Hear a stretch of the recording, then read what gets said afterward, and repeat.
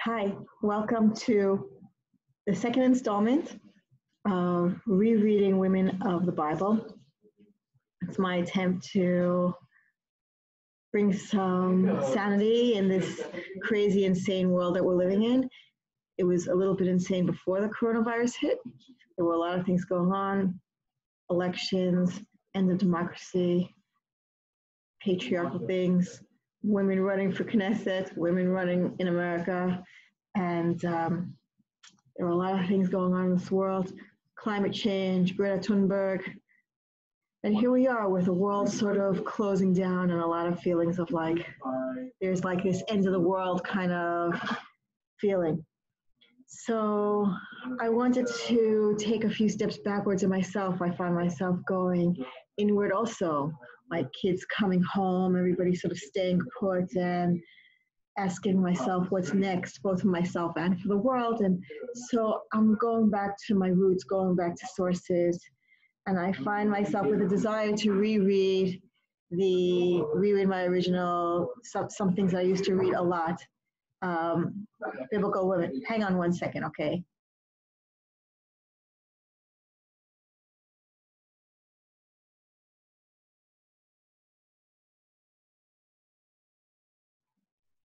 Right.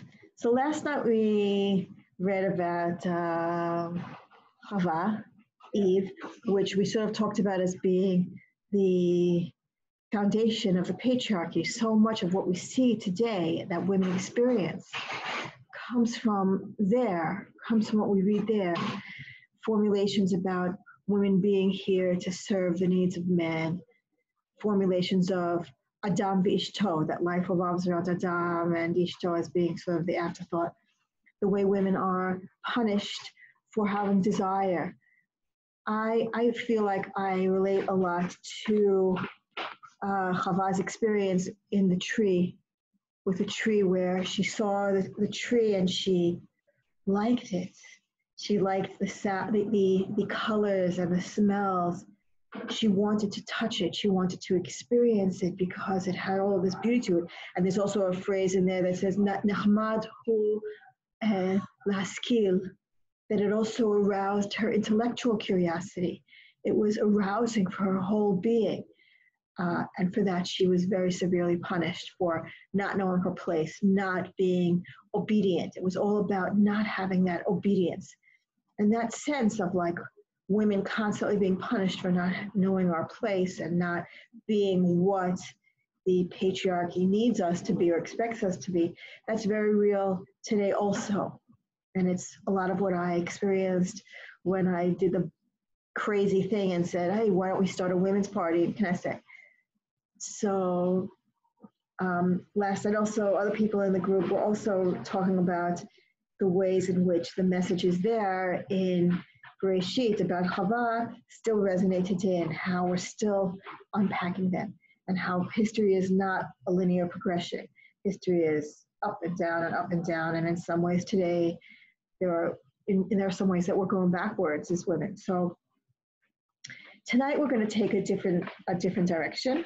I'm actually just sort of going in order of the Bible, of Tanakh. So the next women to sh- the next woman to show up with some emphasis. There are like women here and there, like Noah's wife or whatever, but the next real interesting story is um, hi hi someone else um, the the next hang on a second uh, is um, we're gonna we're gonna look now at um, and we're going to look now at Sarah, the story of Sarah and Hagar. Okay, so um, we're going to start with, I'm using um, a text online. Um, I use the Chabad um, website because the Chabad website has a, a very lovely uh, English Hebrew translation side by side. So I'm going to put that here in the in the chat so you can see what I'm looking at. For the, tonight, we're going to start with Genesis, Breshit, uh, chapter, chapter 16. Okay, so um, I'm just thinking if I should share my screen. Would it be helpful to share the screen? Um, yeah, I'll, I'll share the screen. Hang on one second. Um, here we go. Okay, so share screen means getting all my pop-ups. Okay, so the Sarai Islam. Okay, the Sarai. We, tonight we're talking about Sarah and Hagar. Last night we talked about uh, Hava. We're sort of going in order. Hi. I don't know who just. Hi. Hi. Welcome. Okay. We're Thank looking, you. We're looking at um, Breshit, um, Breshit, uh, uh, 16, chapter 16. I'm sharing a screen here from the Chabad website. I also shared the link. You can look at the link by yourself. It's just a very nice Hebrew English translation. Okay. V'sarai eshet Avram lo yaldalo, v'lashivcha mitzvit u'shma hagar. Okay, so we know that this chapter is preceded by, you know, the story of Abraham coming to Aram, coming to Canaan and getting blessings and learning that he is the chosen one, that he's going to have a great nation. But his wife, Avram, didn't have any children. Now, notice that it goes straight from there. We don't see any particular exchange between Avram and Sarah about this. We just see she didn't have children, ah, but she had a shivcha. In other words, there's no kind of like moment of empathy for Sarai. There's no like, oh, what she might have experienced. Of course, we know already that the, Torah is very sparse when it comes to emotional reactions. Uh, but still, this is still pretty pretty stark, even by Torah terms, that we go straight from this woman could not have children. And also, there is no reflection here about what it meant for her. It's not it's not that this poor woman is, is barren. It's she did not do this thing for her. She did not give him an heir. Oh, but she has a shifcha. She has a, an Egyptian, an Egyptian handmaid named Hagar. Okay, so then we go from there too. Vatomer Sarai and Abraham, now finally we have some exchange. We don't see Sarai sort of talking to Abraham or saying, you know, hey, Abraham, I'm hurting. We don't see any of that. Okay, but she, what she does say now, um, Vatomer Sarai al Abraham, Hinena atzarani Hashem eledet, bona el shifchati ulai ibane mimena. She doesn't say to Abraham, you know, Hinena atzarti Hashem eledet, that's really painful, that's really hard.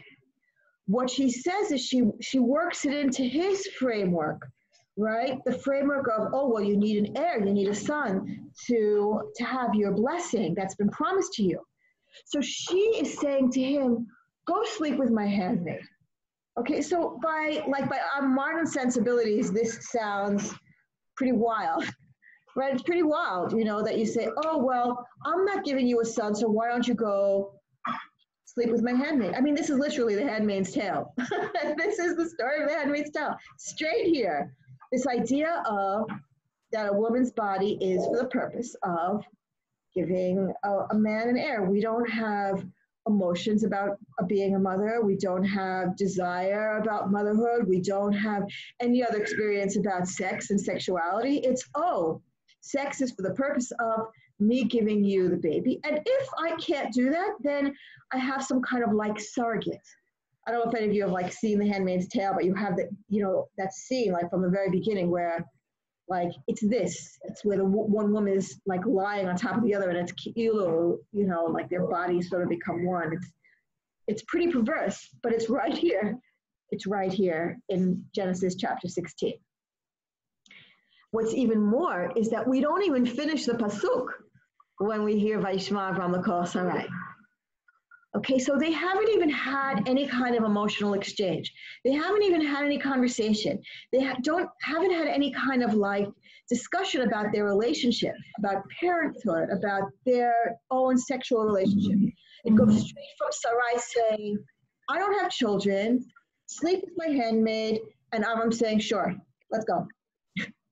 like it's just straight from one uh, to the other. And then we have the rest of the story by Okay, now, before we go on, uh, to talk about what happens next between Sarai and Hagar, um, I want to compare this story with two other women in the Tanakh who also couldn't have children and also had conversations with their husbands about it. The first one that I want to talk about is Rivka, and the second one I talk about want to talk about is Penina. Okay, so Rivka is in um, Genesis Breshit, Perek um, 25. Uh, Cafe, uh, Pasuk Yutet, chapter 25, verse 19. I'm going to share that screen here also. And we're going to switch switch screens for a second. We're going to go back to sharing the screen. Hang on a second. Um, where is my screen sharing? Oh, hang on a second. Bear with me. I don't know why I can't show the screen. Okay. Um, never mind. I'm having trouble sharing the screen. I don't know why. Okay. If you can, um, are you okay finding yourself uh, uh, chapter 25, verse 19, Cafe Yutet? Is that, can you find that in the um, in the Chabad site? Here, I can. Let's see if I can. Maybe I can share the link. The link. Hang on. Turns me. Uh, oh, new share. Hang on a second. I got a new share. Here, I figured out how to share. Here, I got it. Okay. So you should be you should be able to see the new screen. Okay. So let's talk about Yitzchak and Rivka. This is Isaac, the same sort of thing. We're talking about heirs and uh, genealogy. Okay, who comes next? Um, so Yitzchak was 40 years old and he took Rivka as a wife. Okay, and she, by the way, has um, a lineage, which is actually unusual for women in, in the Tanakh in general where we, we're told here, we've come back to She has, she has lineage, she has an identity. Okay, so that's already a step up from like the standard way that women are introduced in the Tanakh.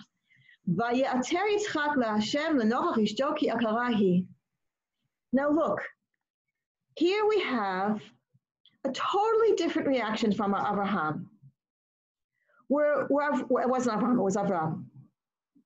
Avram didn't notice that Sarah was having an experience that she was like barren. He had to sort of be told by her.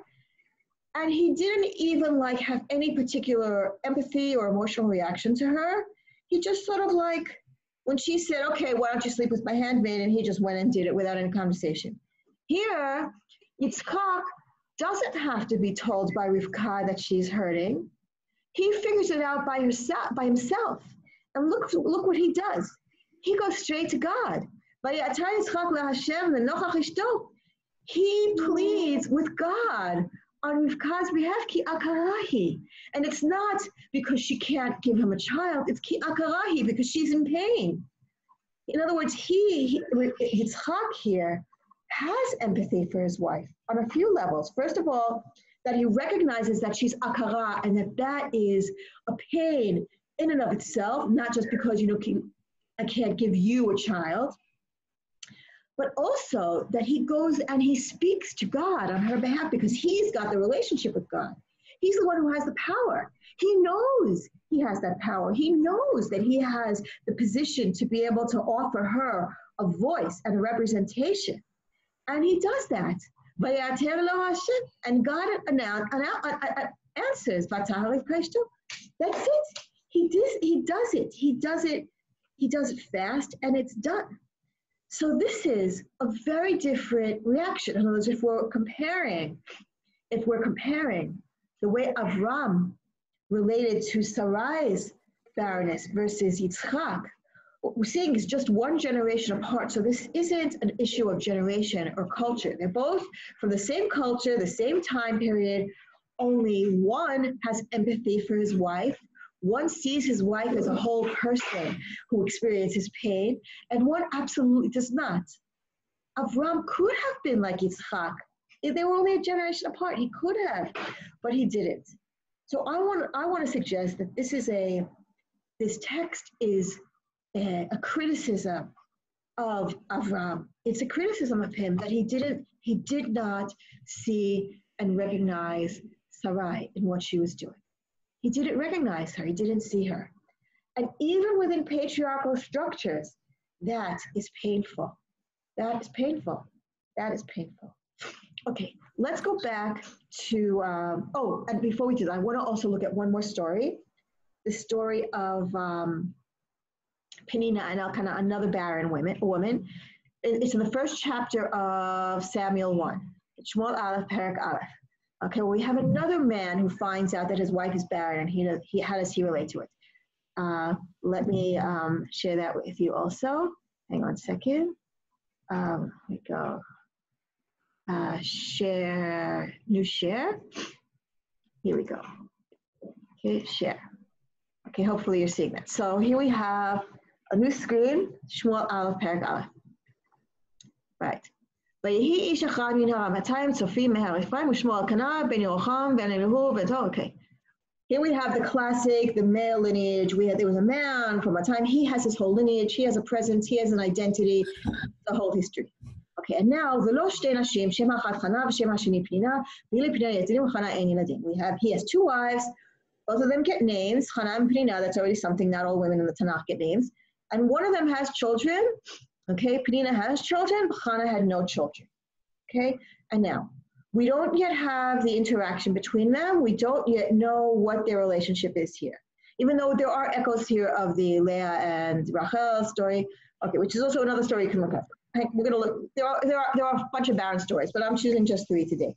אוקיי, ועלה איש ההוא מעירו מימים ימים על להשתחוות לסבוח להשם צבאות בשבילו, בשם שני בני אליך בני פנחס כהנים Okay, So he goes and he's going up, and we have the story where he goes up and he's giving a mizbeach. He hasn't, we're not sure if he's noticed his wife or not. It's sort of just given as a fact. He's got two children, one he's got two wives, he's got two, two wives, one has children, one does not. We don't yet know what the emotional experiences are. Okay, now, ויהי היום ויזבח אלקנה ונתן לפנינה אשתו לכל בניה ובנותיה מנות, ולחנה ייתן מנה אחת אפיים, כי את חנה אהב השם סגר רחמה. So here we have a very interesting conceptualization, which also takes place in different places in the Tanakh, where one wife is for the children to give heirs, and the other one is for love. So here it's very clear that Elkanah has divided his two wives into these two roles. One is the mother and one is the lover. Basically, Penina is the one who's giving him all the children, but Hannah is the one who he just loves. Okay, he sort of accepts it. But is, is he also loving her extra because she is uh, Akara? It could be that part of the reason he loved her was out of a certain type of sympathy because it says, Ki Hashem sagar There is possibly a certain kind of empathy there, like he's giving her extra love because he recognizes that maybe what she really wanted was children. Okay, so that's definitely a possible reading of, of verse 5. Okay, and now we hear it, see it again in, in, in verse 6. And her rival would frequently anger her. Uh, okay, so she was often um, she was often angry. All right, we now, now this is this is new. Okay, this is new for us to really get into the heart of a woman. Okay, because both in Sarah and Rivka, we don't really know what they felt or what they were experiencing, but here we have kas. And not only do we have kas, not only do we have anger, but it's almost okay it's like it's legitimizing her anger. It's legitimizing her pain in that she didn't have kids. Okay. וכן יעשה שנה ושנה מדי עלותה בבית השם, כן תכעסנה ותבכה ולא תאכל. And she would, she would cry and she wouldn't eat. So here we have also very, um, very understandable reactions when we feel pain, we're angry, we cry, and sometimes we use food. Either we don't eat or we eat more. In other words, we use food to punish ourselves or punish those around us. It's a we have a an eating disorder here, you know, as a response to pain and anger. Okay, now look at verse 8. In verse 8, Pasuk Chet, Here's where we have Elkanah's reaction. What does the husband say? Vayomer la Elkanah isha, Hana, lama tivki, ולמה לא תאכלי? ולמה ירא לבבך? הלא אנוכי טוב לך מעשרה בנים. Okay?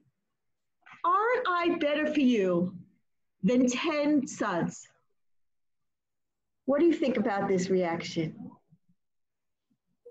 What do you Amazing, think? Amazing, actually. Yeah, how's that? Because of the fact that it is prioritizing the emotional relationship within marriage, that the marriage is there for the two partners to keep each other company rather than simply to proliferate and bear children. So the marital relationship takes primacy. I like that sentence. That is lovely. That is absolutely a lovely reading. That's a lovely reading. Um, do you think, though, it satisfied her?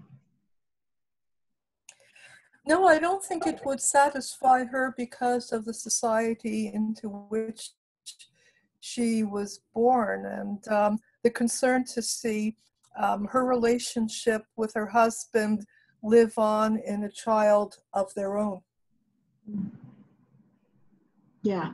Well, it's possible that also not just because of society, maybe she actually really did want children. Like, what if, is it possible for her to both want children for herself? For not, not, not just because society wanted, and for her to be feeling a pain of not having children um, at the same time that she loves her well, husband. Well,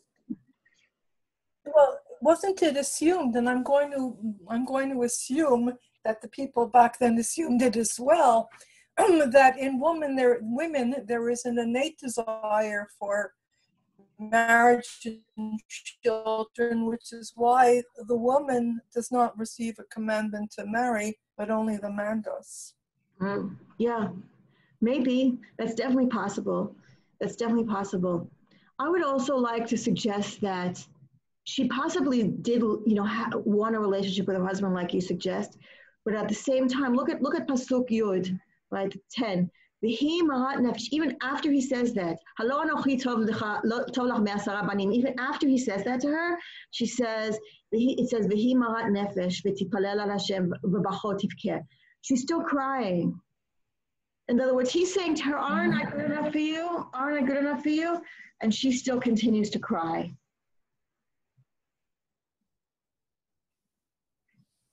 I think what we so had. Clearly. Yeah, go ahead. Yeah. No, I, I think that I, I, I really like your reading. In other words, that he's trying to say we have a relationship that stands on its own. But she's asking him for something else. In other words, she's, she's in other words, as opposed to like, I'd like to contrast this, for example, with Yitzchak. Because Yitzchak, when, when he realized that Rivka couldn't have children, he didn't say to her like, come on, what's the big deal? Like, you know, aren't I good enough? He said, I'm going to go ask God for children for you. In other words, that was like a, a deeper kind of empathy. In other words, he was saying, I am going to try to get you what you want, exactly the way you want it, as opposed to Elkanah, who's trying to say, oh, I know you want children, but uh, maybe you want something else instead. In other words, it's sort of like a digression. It's sort of like sometimes, you know, when you're upset about something, like, you know, I don't know, you, you get a bad haircut or something and you're crying about your bad haircut, and then somebody says, like, what's the big deal, dude? You want your hair this way anyway? And you're like, no, no, no, no, no. I'm really sad because I wanted it the other way. In other words, maybe, yeah. Go ahead. Well, what I find so interesting in Elkanah's uh, re- response to his his wife's situation is that he wants to feel validated and valorized in, in her eyes and we don't see that with the other two. Right. And and actually what i'm what i'm finding so interesting about these three different uh, excerpts that you've presented is um, they present wildly different uh, responses to right. the same situation. I mean one of the things you didn't mention that i wanted to ask but i didn't know if i was allowed to interrupt or not interrupt was when Sarah was Sarah I was talking about giving um, her handmaid um, to Avram, she sees the handmaid as an extension of herself, as her own yeah. property. Like yeah. um, if you're talking about Avram not having empathy with his wife, there's what about um, Sarai's relationship with Hagar even back then? Right. You know. Really want to talk about that. Let's go back to that. I really want to explore that right now. Let's go back. Let's go back to the um, to that that story. I want to talk about Sarai and Hagar. Let me just make sure that. Do you see the screen? Do you see the the um, Genesis screen? Did that change? Did that switch back? Hang on a second. I'm just. Yes, I do.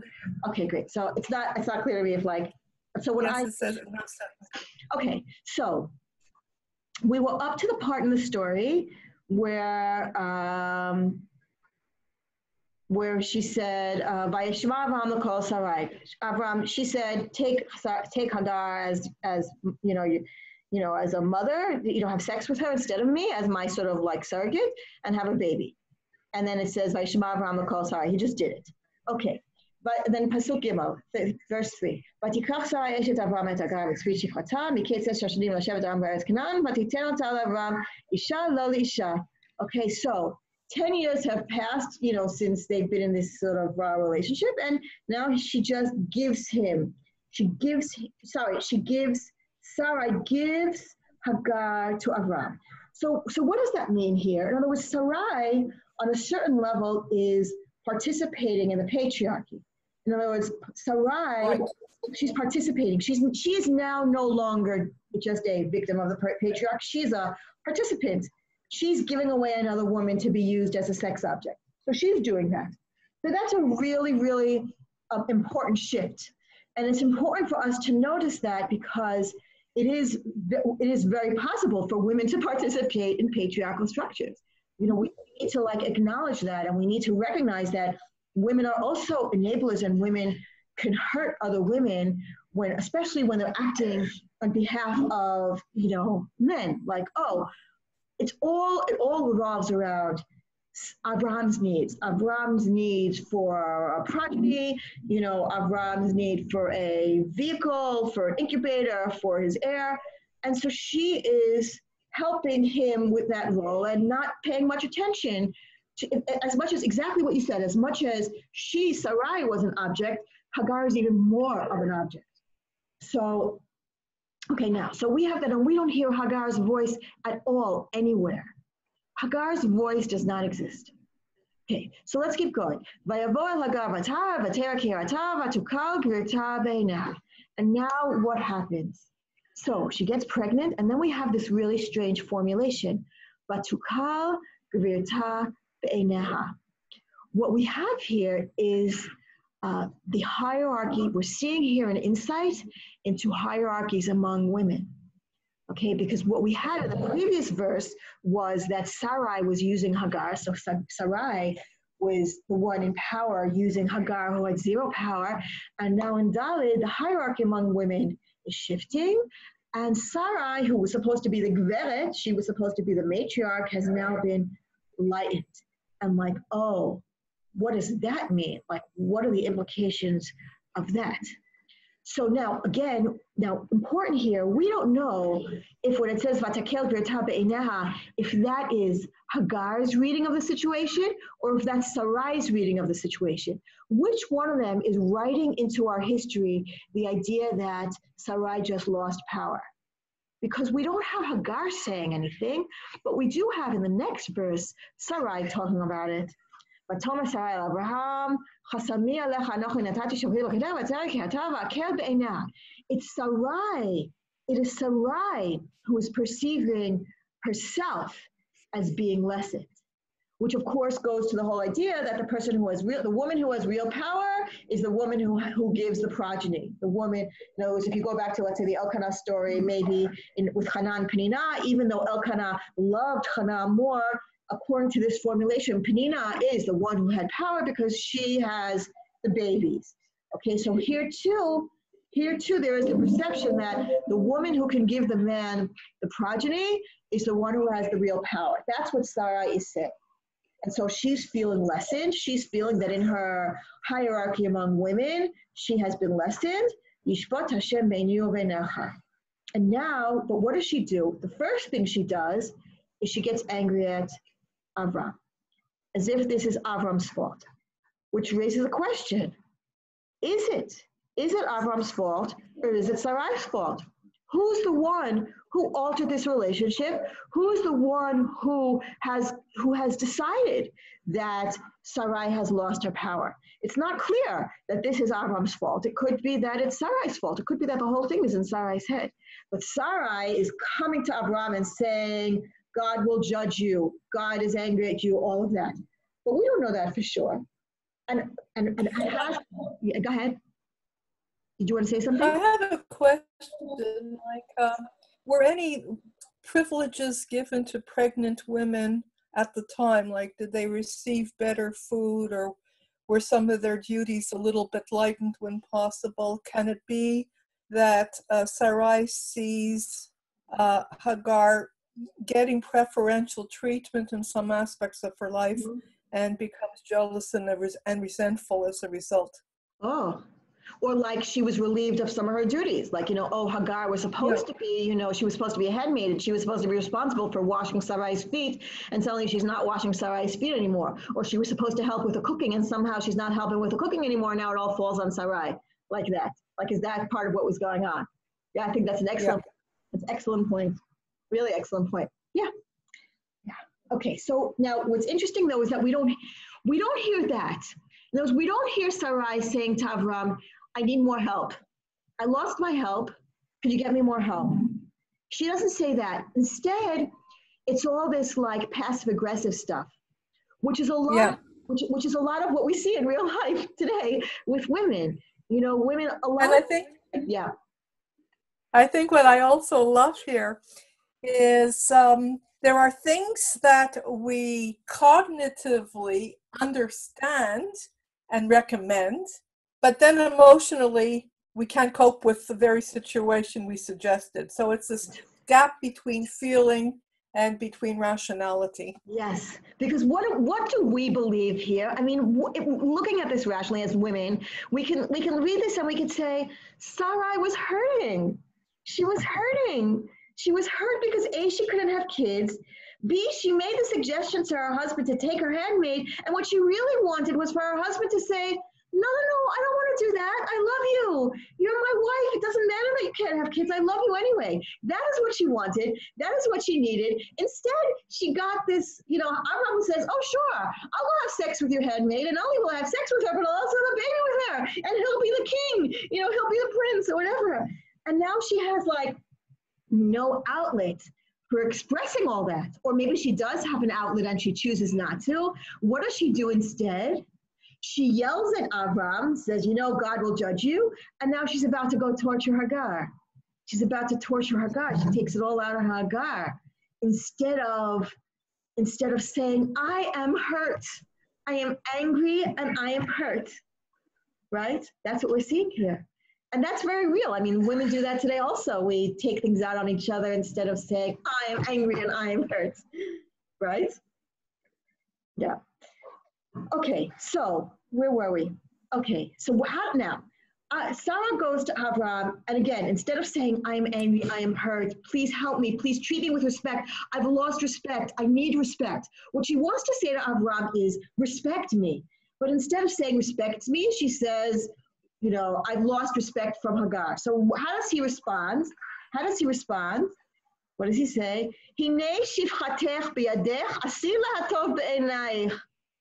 Do whatever you want with her. I don't care about her. Poor Hagar. Can you imagine? Poor Hagar. And of course, what happens next? But Sarai. Sarai tortures her. The first thing Sarai does is she tortures her.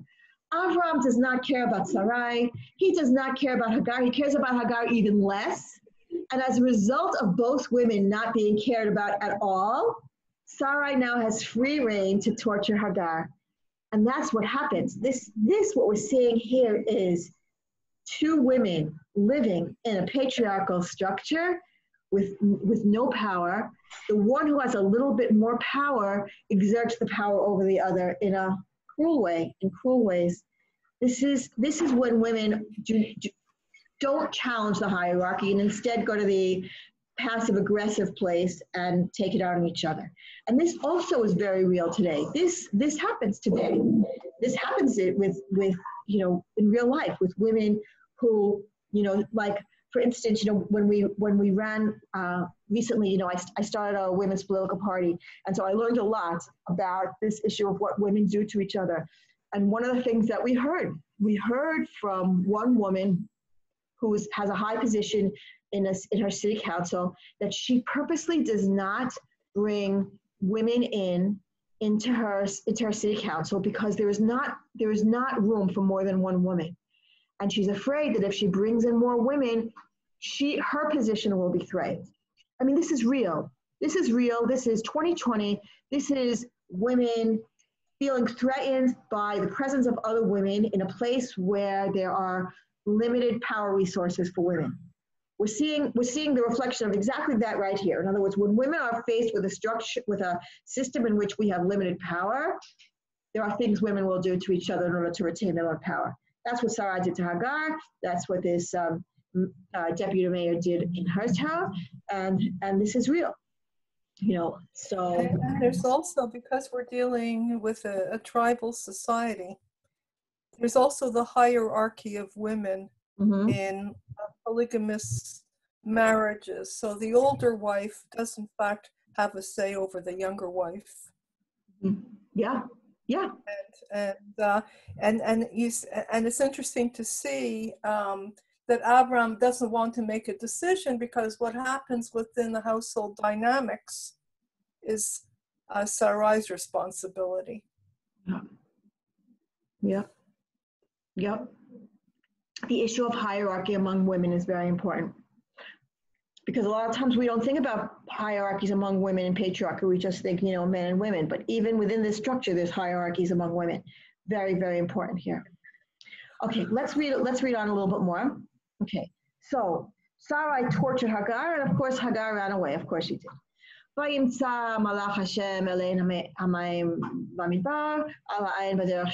So the malach comes in. So you, you have Avram messing up and you have Sarai messing up and nobody here is doing the right thing. So you need a malach to come in and save Hagar. ויאמר הגר שפחת שרי, אי מזה בת, ואנה תלכי, ותאמר מפני שרי גבירתי אנוכי בורחת. So she's saying, you know, the malach says, who are you, what's going on? And she says, I'm running away from Sarai, my mistress.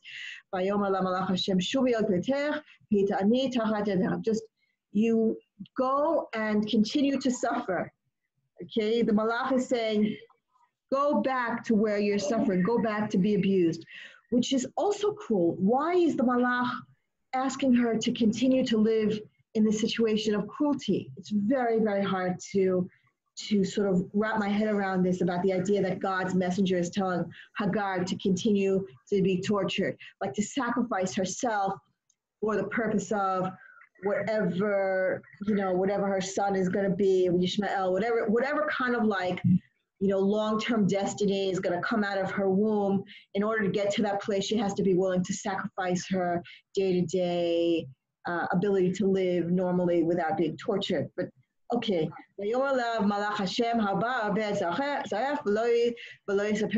it won't be for it, it won't be for nothing. You'll be blessed. Everything will be okay in the long term. Just sacrifice yourself now, and in the long term, everything will, everything will be okay.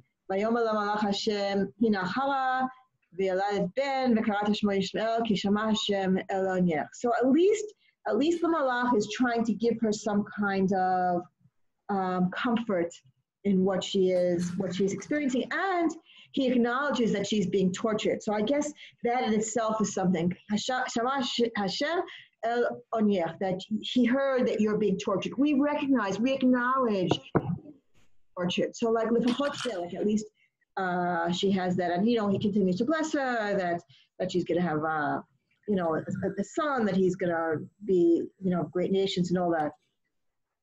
And then just skipping down to 15, Okay.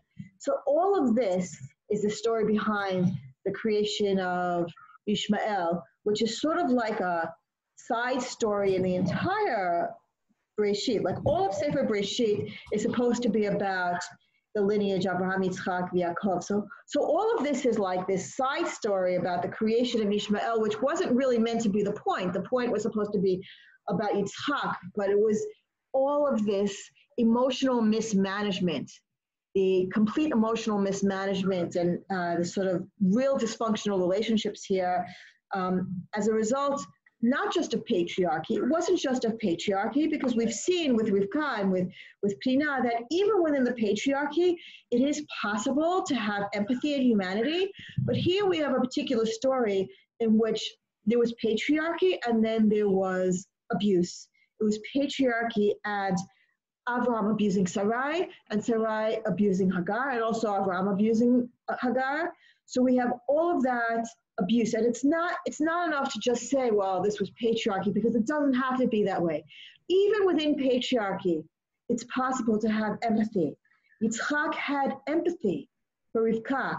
It's, the torah also tells us that yitzchak loved rivka like there was love there you know? So it doesn't we don't it doesn't have to be that patriarchy equals abuse but in this case it was compounded the abuse the abuse came about because of women not being awake enough, because of Sarai not being awake enough and not being empowered enough to say, this is what I'm feeling, this is what this is what I want, this is what I need.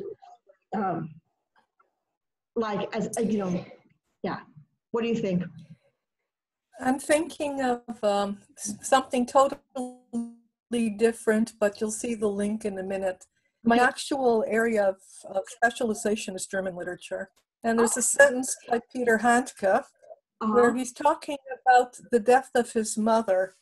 And he says she had never learned to say I. Oh. And we're, we're dealing here with a, a situation where the concept of self, the autonomy of self, is is not presumed, and we're seeing right. it play out with the women. Right. That's an excellent point. Because in all three stories none of the women actually ever says this is me. This is what i want. This is what i feel. None of them actually says that. And actually it goes back to we did last night we were talking about uh, Chava and eve eve sorry Chava slash eve um, and about how she ate from the tree. You know she desired the tree and how she was you know it talks about how she loved the taste and the smell and she she had curiosity and she had desire, right? And so one of the points that I was making last night was that she got punished for that, but that this is what this is what I want for for women today. I want women to be validated in our desire, in our you know that we that we should have the right and the ability to say I want or I love or I need right? So it's possible that Chava had that and she was punished for that. And what we're seeing as a result of all of that are all of these different women who are unable to say, I want, or I need, or I desire, or I love, or please give me this. This is what I want from you. Like that, exactly what you said. Yes? Mm-hmm. Yeah. Thank you so much for being here tonight. Where are you from? Me? Yeah. I'm from, originally I'm from Montreal, but I've been living almost 30 years in Windsor, Ontario. Oh, okay. Oh, so it's in the middle of the day for you. Yes, it is. It's uh, 10 to 3 in the afternoon. Right. Okay. We're on, we're on daylight savings time, so there's only six hours difference right now. Yeah. Well, thank you for being here. Thank you for um, sharing the conversation and um, thank you for providing the resources and the yeah. excitement and my pleasure stimulation because I live on my own and because I'm a senior I'm locked into my house and I'm going that shit crazy so this was great Wow. Good luck with the virus. Good luck with the isolation. And uh, um, we'll do this again. Maybe uh, tomorrow. Tomorrow's Friday, so it's a little hard. Sunday, we'll do it again. Bezrat Hashem. Okay. Thank you. Thank you. Okay. Bye. Bye. Bye. Bye. Bye.